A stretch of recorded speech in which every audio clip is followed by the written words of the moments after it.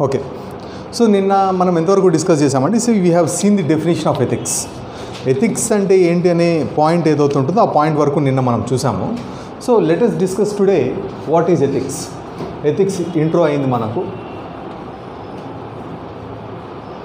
So we shall look into what is this ethics so why ethics are necessary and what is the necessity of ethics why ethics are necessary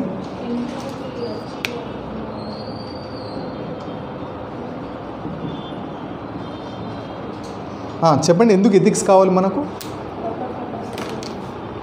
Because of the human nature every society tends to move towards entropy so in order to protect the society we have framed some rules and regulations which we may call that as traditions అని చెప్పచ్చు customs అని చెప్పచ్చు లేదా ఏంటండి?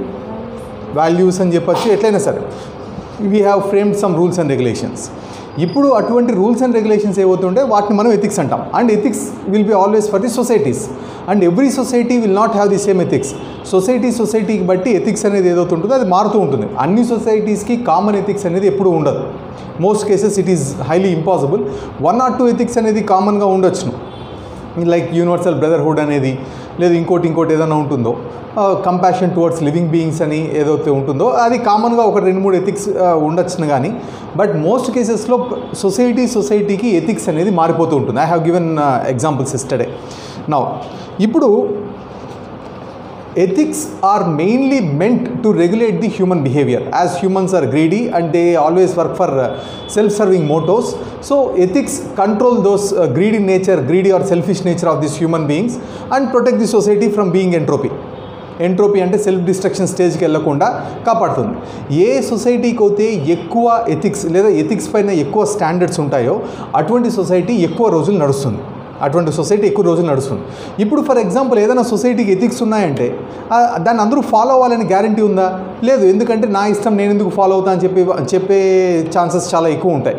అందుకారణం చేత see that's why we have given some legislative backing to the society to those ethics ఆ particular ethics ఏవవుతుంటాయో వాటికి మనం లెజిస్లేటివ్ బ్యాకింగ్ చేయడం స్టార్ట్ చేసాం. అంటే సో అండ్ సో మీరు ఎథికల్ రూల్ ఏదైతే ఉంటుందో దాన్ని కానీ మీరు సరిగా కానీ పాటించకపోతే you'll be penalized okay and legal legislative backing కానీ లీగల్ బ్యాకింగ్ కానీ మనం ఏమో ఏదైతే చెప్తామో that is not from today అండి. ఇప్పుడు ఇంతకుముందు కూడా మనకి ఎలా ఉండేదంటే నువ్వు సంఘం యొక్క కట్టుబాట్లు కానీ మీరావంటే యూ విల్ బీ పనిష్డ్ అది వాళ్ళు డైరెక్ట్గా చెప్పేవాళ్ళు. If you cross the boundaries if you cross the limits of your behaviour in the society and you will be punished and your family will also be punished accordingly next ఈ విధంగా ఉండేది.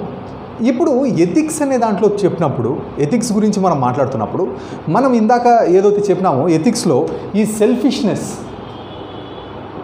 Selfishness ఏదైతే ఉంటుందో ఇది correct కాదు.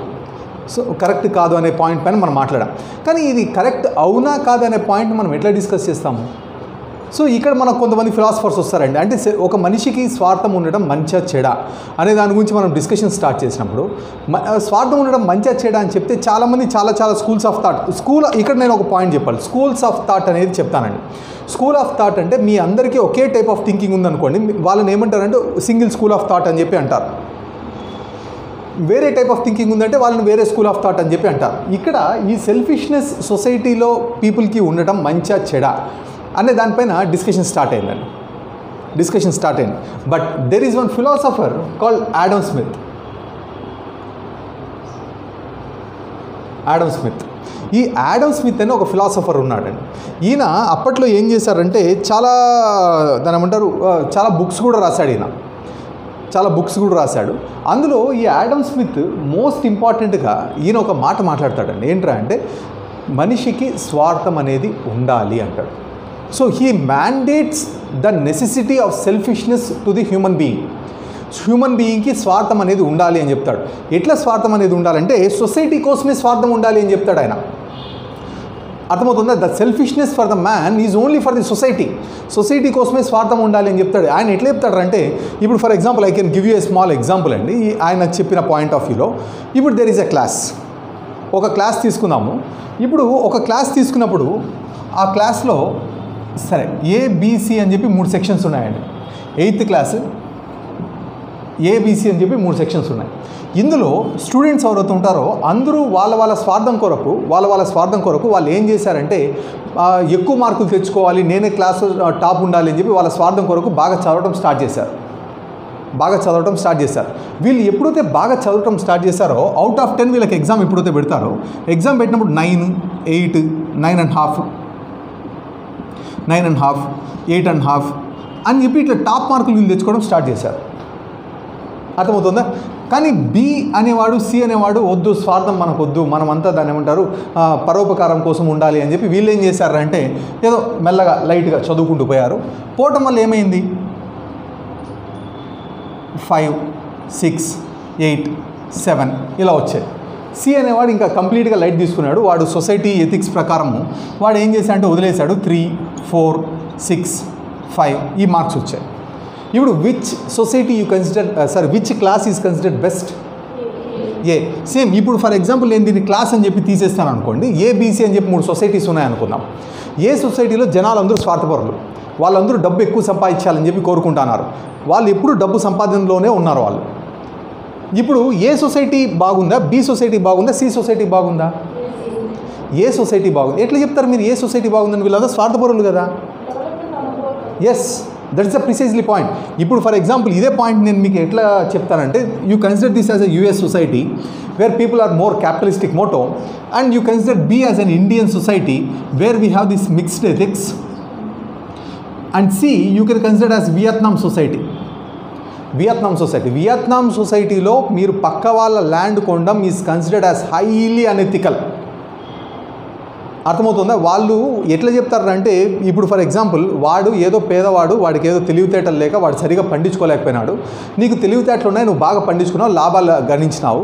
So నీకు వచ్చిన లాభాలతో నువ్వు పక్కన వాడి ల్యాండ్ లాగేసుకుంటున్నావు. అంటే వాడి తెలివితేటలు తక్కువ ఉన్నదాన్ని నువ్వు ఆసరాగా తీసుకొని నువ్వు వాడి భూమిని లాగేసుకొని వాడిని ఇంకా పేదరికం లేక చదివిస్తున్నావు అనేది వాళ్ళ ఎథికల్ స్టాండర్డ్ అందువల్ల they prohibits people from buying others land Vietnam traditional society prohibits people from buying the other land it always condemns the people's behaviour it always condemns the people behaviour which necessary which forces the other people to ఏమంటారు? To fall into the dead traps అర్థమవుతుందా? ఇది Vietnam society ఇప్పుడు ఈ మూడు సొసైటీస్ని తీసుకుంటే US society బాగుందని చెప్తారా? Indian society బాగుందని చెప్తారా? వియత్నాం సొసైటీ బాగుందని చెప్తారా?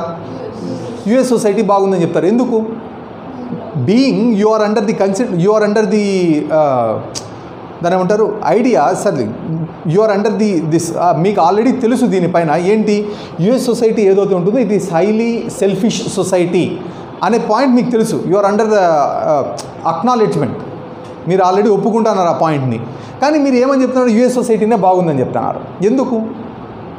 So this is the same point అండి. Uh, యాడమ్ స్మిత్ కూడా ఇదే పాయింట్ పైన మాట్లాడతాడు. ఆయన ఏం చెప్తాడంటే if every man works for his better betterhood లేదా ప్రతి ఒక్కడు వాళ్ళ వాళ్ళ స్వార్థం కొరకు పనిచేస్తుంటే and invisible hand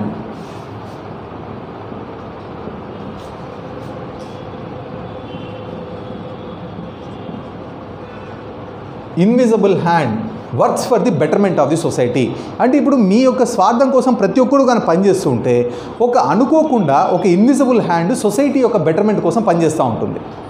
ఇది ఎవరు చెప్తారంటే యాడమ్ స్మిత్ చెప్తాడండి. ఇది ఎవరు చెప్తారంటే యాడమ్ స్మిత్ చెప్తాడు.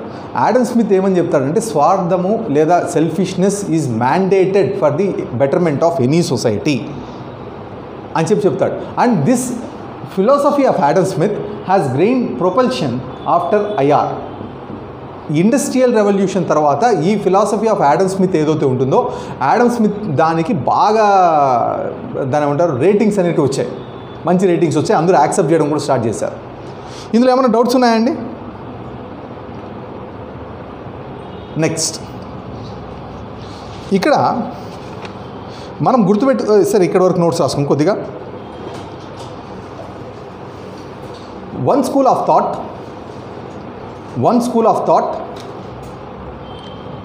one school of thought believes believes individual happiness individual happiness automatically transfers to society's welfare. Automatically transfers to society's welfare.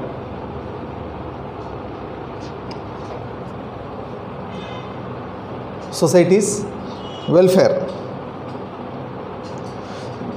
They emphasizes on the point of human selfishness. They emphasizes on the point of human selfishness human selfishness the major the major supporter of this philosophy the major supporter of this philosophy is Adam Smith. Is Adam Smith. Next, parallel harassment. According to Adam Smith, according to Adam Smith, if every individual works for his own happiness, if every individual works for his own happiness,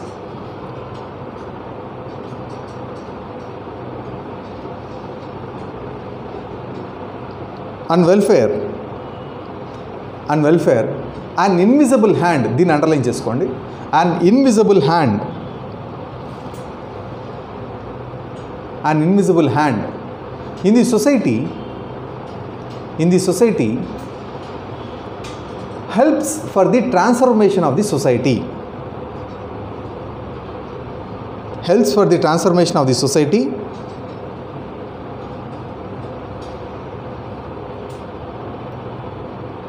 which means which means which means individuals being components of the society individuals being components of the society being components of the society, their happiness ultimately results in the society's happiness. Their happiness ultimately results in the society's happiness.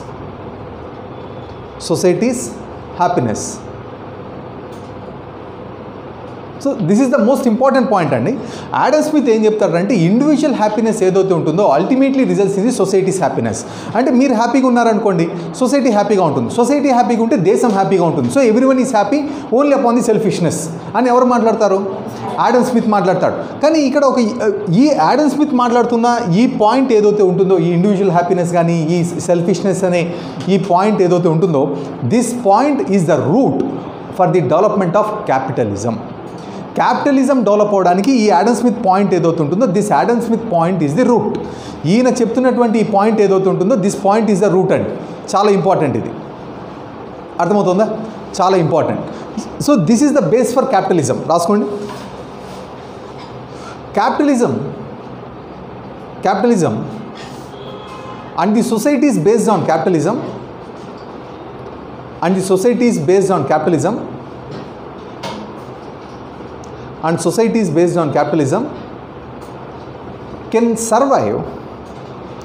Can survive on the concept of individual happiness. Sorry individual hands. Sorry on the concept of invisible hands. Invisible hands. Invisible hands. Next weakness of Adam Smith. Weakness of Adam Smith.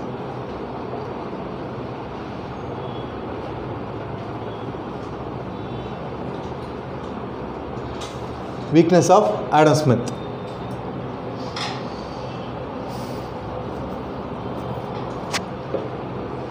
First one. There is no saturation in the point of profits there is no saturation in the point of profits.